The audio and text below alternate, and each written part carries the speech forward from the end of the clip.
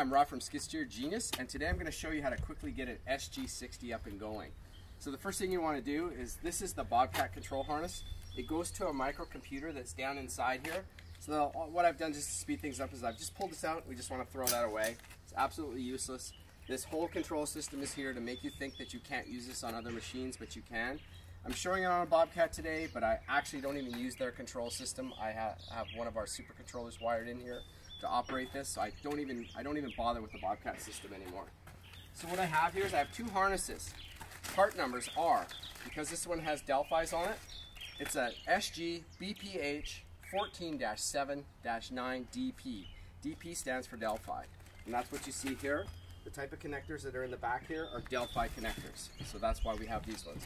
They're very easy to identify by the little blue caps that you see. So if you look inside your attachment, you see blue caps. Nobody else uses that, you know it's Delphi. The other option is Deutsch, which we don't see usually in this attachment, but I never say never anymore. So that's the first harness. This is a seven output harness that's meant to operate the brake or sometimes also called a dump valve. Um, and I'm going to get into that and show you what the differences are. This is the other harness. It's an SG BPH 14-6-9DP. So this only has six outputs. And again, I'm going to show you in a, in a shortly here just why we would use six over seven on this. But basically what we want to do is when we start this up, we'll start it up and we'll try and run the drum. If the drum spins, then you, without having any electrical connected, then you want to use a six. If it doesn't spin, you want to use the seven because the seven has an extra circuit on it that helps to release the drum. In this case, we've actually run this thing up and I know that it spins freely without anything, so I can just use my six. And I'm gonna show you now how to connect it. Okay, so what you're gonna see here when you open up the bag, it's a nine foot harness.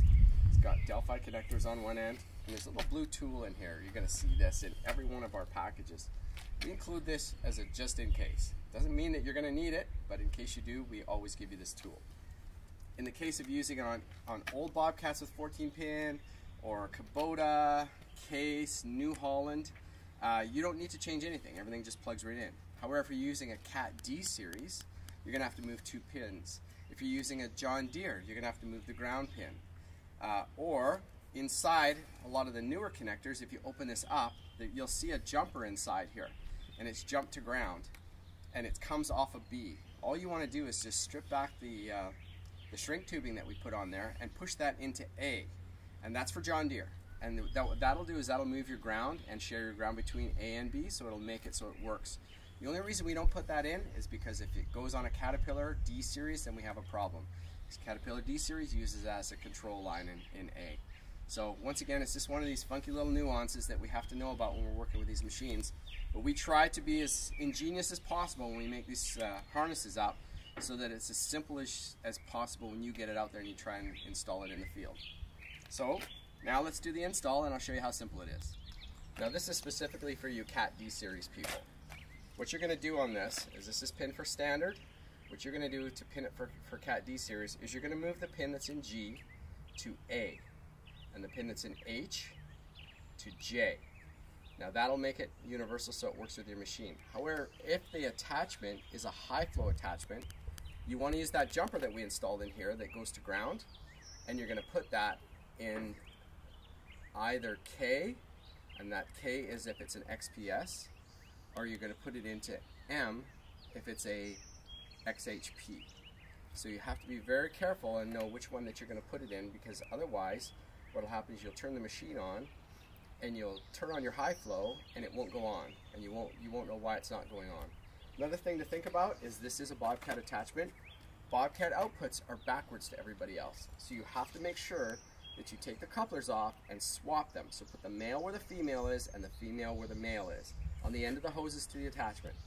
When you do that and you go to use the detent selection inside your machine where you push and lock it on so that it's running, you will now be able to select high flow and high flow, high flow will operate.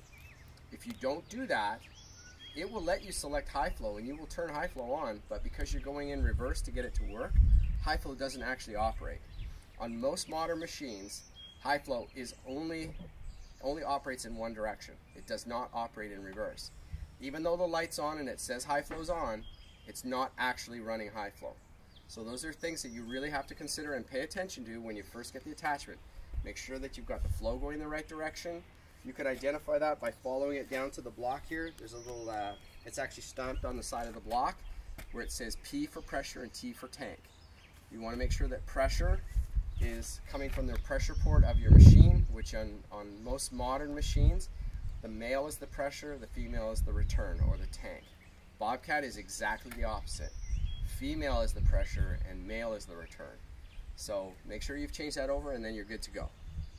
Okay, so to speed things along, and you'll actually see this in one of our other videos, I've actually already gone and marked what each solenoid does. How I do that is I take my primary pair and I plug them in, or I'll take a battery, a separate battery, and I'll just run the attachment and I'll plug it in and try each one. And then all I do is I write on the side of the solenoid what each function is. And that makes it really simple when I come and I want to actually map my wires. Now, when you buy one of our harnesses, you'll get an instruction pack that shows you exactly what wire does what. However, this machine does not set up the same way in every single different type of skid steer. And the reason for that is that every skid steer has different controls in different locations. So what we do is we have pairs. So our orange and green is one pair, and that's our primary. So if we look here, this is our extend and our retract. Now that's not a primary function as far as I'm concerned. What is, is our left and right. So I'm gonna put my primary function, which is my orange and my green wires, and I'm gonna plug them in, and I'm just gonna randomly do this, because all I do is if I'm not happy with the direction, I just get out, and unplug them and swap them. I'll put the bottom one on top and the top one on bottom if I'm not happy with the, the direction it's going. So say in my, in my handles, if I want it to go left or right, and I want it to follow the direction of my joysticks or my buttons or whatever, I will map these in that direction. So that's my left and right. My secondary function is my white and my pink or red. Sometimes it's red, sometimes it's pink. Now, this is up and down. That I would call that a primary function. So I'm gonna, again, I'm just gonna plug these in random this first time around. And then we can see what it does. Okay, again, your results are gonna be different because every machine is a little bit different. Now my next one, my last function, is my blue wire and then my white with black. So I'm just, again, just gonna randomly pop those in here.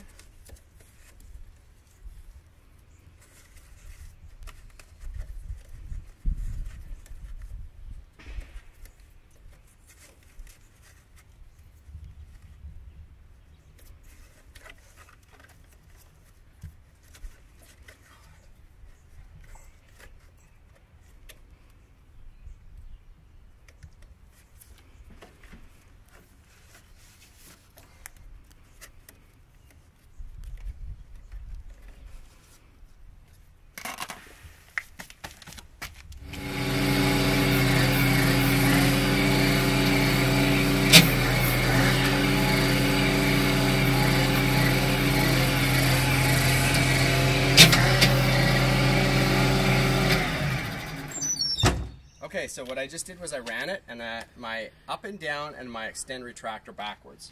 So all I do is I come down here. This is my extend retract. Of course, it's the hardest one to get to. I pop it off and I take the top one and I put it on the bottom and I take the bottom one and I put it on the top.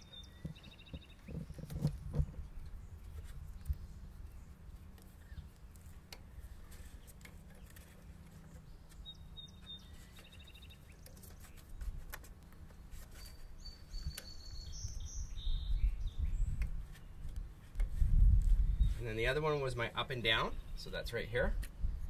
That was backwards. So I take again, I take the top, put it on the bottom, bottom, put it on the top. And that's it. So now I'm gonna give you the pin out on this.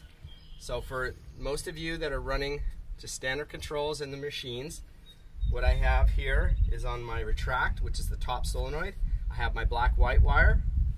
On the bottom one for extend, I have my blue over here on my up and down. My down is red, my up is white, and then in the back here for my left and right, my left is green and my right is orange.